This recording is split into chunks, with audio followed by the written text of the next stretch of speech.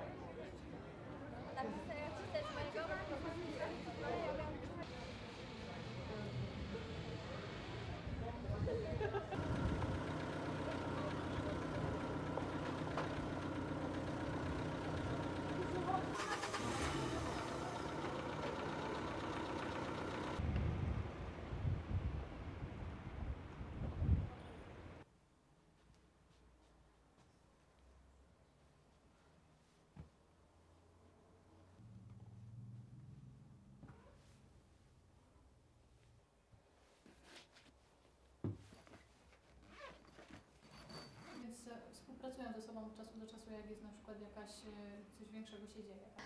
Ale y, w tego poruszenia wiem, że chłonęłam każde słowo. Potem rzeczywiście wróciłam do domu, się nad tym zaczęłam zastanawiać. y, Nad tym całym nauczaniem, nad tym, co się wtedy wydarzyło. I wynik był taki, że w tych poszukiwaniach zostawiłam rzeczywiście rodzinny dom i w 1983 roku, tego właśnie samego roku, wstąpiłam do Zgromadzenia Sióstr Najświętszej Rodziny z Nazaretu.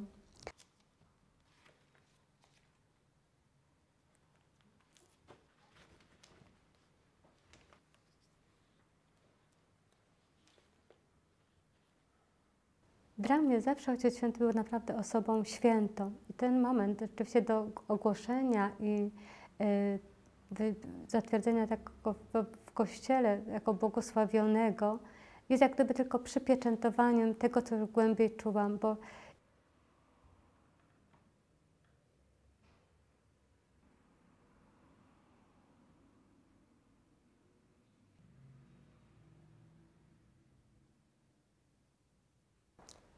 Jest to coś silniejszego ode mnie. Jest to wyraz rzeczywiście hołdu i wdzięczności za to wszystko, co rzeczywiście Ojciec Święty Jan Paweł II zrobił dla każdego z nas i dla mnie.